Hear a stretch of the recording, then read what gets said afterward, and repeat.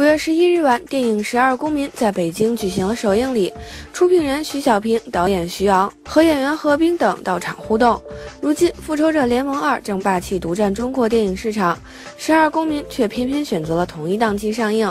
对此，导演徐昂表示，虽然也非常担心票房，但还是有点自信。非常担心，这么一说的时候，是不是感觉我们也挺棒，对吧？就是说，你说非常不担心的时候，其实就是觉得。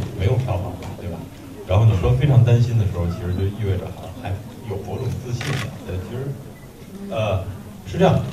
我觉得那个电影分成两类，有一类呢它是完全的视觉化的，有一类呢是偏近文学化的，就是真正的中国语言的这个部分，我觉得肯定是西片进不来的那个部分。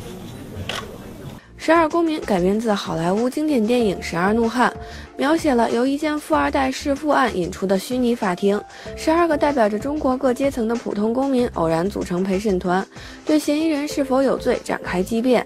其中饰演八号陪审员的何冰对自己的角色似乎有点担心。大家看完之后一定对我这身份会有想法的，因为前一日子我们也做了一些点映，呃，我也接触了一些观众、影评人，呃。对他们的身份，人家影评人跟观众没说什么，就是对我这身份，大家是很有自己的看法的。呃，也希望大家看完之后吧，啊，一个来小时，看完之后，呃，这个问题您也问问您，看看您看完之后有问题吗？很特殊的一身份。